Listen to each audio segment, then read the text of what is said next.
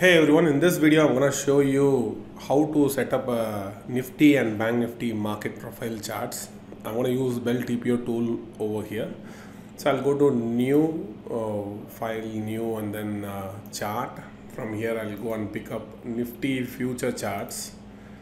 So I'm using an uh, March month contract. From here I'll go and set up the value as 30 minutes and then days to load I'll make it like 75 the trading hours I'll make it as NSE right? So pick it up from the default NSE as a template. And uh, I'm gonna press OK so first thing that you'll be seeing here is like I'll be seeing the candlestick charts. On a 30 minute scale this 30 minute scale is essential when you are using a Bell TPO tool because most of the market profile will be applying it on a 30 minute scale. And I'll right click and then I'll go to the indicators from the indicators I'm going to pick up uh, Bell TPO market profile tool. So I'm going to use Bell market profile ultimate. Let me click on that. So by default on the left hand side I'll be able to see the properties. When comes to Nifty futures right I'll be using uh, the TPO size of 2 point TPO so if I want to set a 2 point TPO in case of Nifty right so I have to use a the TPO type. So they have three types over here: fixed, ATR based, and the price range based. If I'm going to use fixed, I'll be keying in 40 over here.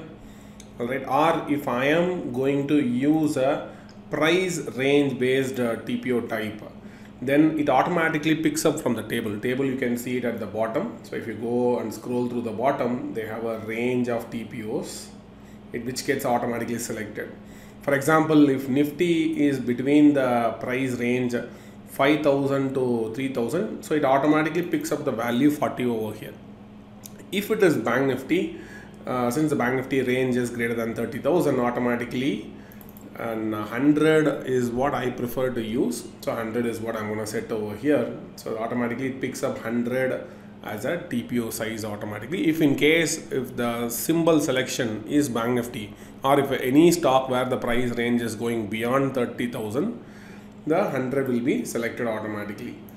So if you scroll back up, what I will get? So I'll be, I'm going to use a price range based. So if I'm going to use price range based, it doesn't matter whatever is here. It is, if it is 20 or 40, it doesn't matter. Automatically picks up from the table which I showed you some time back. Now the second one is like uh, setting up the half back line. I prefer using, uh, so this is nothing but intra bar half back. So I prefer using an uh, white color instead of the traditional black color. So let me go and select the white one. And uh, followed by that, the session block, I'm going to keep it as it is. Value area, I'm going to keep it as it is, the standard 70 uh, 70 percentage as the value area size and the TPO calculation method I'll be using is TPO and followed by that I'll scroll down. A couple of interesting things I would like to add up. So what I would like to add up is here is like the most important one is the charting background. I prefer using the slate gray active background dark gray. And then uh, followed by that the value area color. I prefer instead of a golden rod I prefer a lime color. So here is the lime color. And uh, also followed by that let me scroll down a bit so a lot more controls are here. Uh, some of the most important control is like the mid session line which is nothing but the yesterday's halfback. So i prefer using uh, two over here. So means last two days wherever there is a halfback it will be showing me the uh, halfback over here. So it's a previous day halfback or a day before uh, halfback levels if in case if you want to visualize the midline is what you have to go and enable. And the look back days i'm going to give it as 2 and stronger ORR I'll uh, keep it as a standard 30 itself. A double and triple mechanical reference kind of I'm going to disable it as I'm not going to use as of now. And the prominent point of control I just want to know wherever there is a prominent point of control. So I just want to know where exactly it is. So for the last 50 days any prominent point of control is there. I just want to see it. Uh, scrolling down uh, any RP puck is there. That also I'm going to make it like 50 so any RP puck is there which is kind of a short term reference I would like to see those things AB PORL also more or less I would like to keep it like at a higher limit like 50 is a number I would like to keep it so followed by that uh, poor low poor high same thing uh, we give more importance to poor high and poor low you know that And failed auction, I'm going to keep it as a 10 itself. That's a reasonable number because generally failed auction will be hold. Uh, I mean, will be monitoring only for the next five trading sessions. So 10 is fine. So if, if at all any failed auction in the series, I'll be able to identify very easily. And likewise, uh, gap up and gap down, I can visually see it. If in case if you want to have it, you can have it. In my case, I prefer to disable this. Likewise, gap down also, I prefer to uh, disable it. And G2, G3, I am gonna keep it like in uh, 10 days itself because G2 and G3 is valid for only up to two trading sessions so it's okay to keep it like a, at a very minimal number. Uh, same thing goes with uh, open equal to high low and open equal to low low also. And weaker point of control i'm gonna also gonna keep it like 10 itself. So i think uh, that is the one thing. Uh, the tpo input block in my case i prefer using this tpo inputs as the standard thing which I, as it presented over here the reason is we go with an optimal tpo size uh, traditionally in the market, different people use different TPOs for Nifty and Bank Nifty. But however, we have a standard procedure for how to set up the TPO size. So we go with an optimal TPO size so that uh, visual reference level get captured very clearly. And uh, we give more importance to visual reference level at a very microscopic level. So this, uh, the settings is very, very important. So yeah, so that I'll go go and click and apply. So I'm gonna get the references for Nifty automatically. Now once I done with Nifty, right, it is gonna be pretty easy for Bank Nifty as well. So I'm gonna done with Nifty here. I'm gonna get all those references. Now you should be able to see that all those microscopic references very clearly, like weaker references, and uh, you should be able to see that weaker references over here, right? And you should also able to see that uh, kind of an poor high which is also on kind of a breakout failure failed auctions. All kind of uh, reference level you should be able to see it very clearly at a very granular level right? That is a very important settings.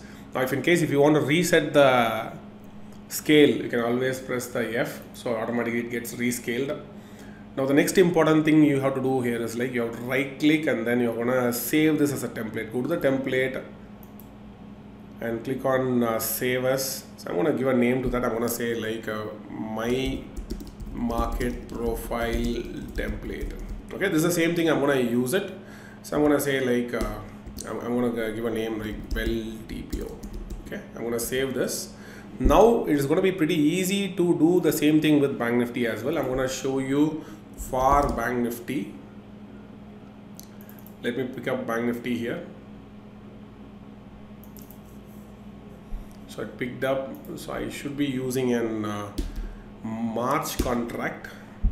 I'm gonna remove the April I mean the February contract here. Let me remove it. Same settings everything is same. Now applying the template is pretty easy. I just go and select the my market profile template build TPO which we had created just now and uh, press OK. So automatically all the template settings timing settings everything will get applied including the uh, indicator settings. By default, this chooses a 5 point TPO. I'll tell you how because if I right click and then I'll go to the indicators, I will be able to see that that fixed TPO size is 100. By default, it picks up 100. You know, from where it is picking up, from the price range based, automatically it is picking up from the template. Right, from the template, it is automatically picking up. So ensure that your template is in a proper order the same format will be using only for the stock instruments. For commodities and uh, currencies, the TPO settings is going to be a little bit different. So I'm going to show you one more example here. I'm going to show for one of the stock. Let's say I'm going to pick up something like maybe HDFC Bank. Let pull up HDFC Bank over here. So this is HDFC Bank continuous contract. I'm going to select the template, my market profile template, press OK, and that should be done. So only thing you have to ensure that here it is like 30 minutes. Rest everything uh, market profile settings will be done automatically. Alright, I hope this explains how to do the settings uh, for market profile and how to do the optimal TPO settings. If in case if you don't have the optimal TPO settings, still you can follow the template, whatever the template module which I had given, right? So Uh, that way you can able to easily set the market profile TPO settings for Nifty and Bank Nifty. Not only for that, any stocks in NSE or BSE, you can do it. Any stock futures or uh, cash instruments, you can do it based on this simple settings. Otherwise, if you are not comfortable with that, you want to go with a different type of settings. Uh, the indicator they do support both uh, ATR based uh, TPOs, like kind of an uh, automatically adjust the TPOs to different volatile market conditions, and fixed TPO if in case if you want a fixed style of TPO, right? But as I said, uh, in my case, I always go with the price range based TPO settings for my comfort. Thank you. So see you in the next video with more interesting content. Thank you once again.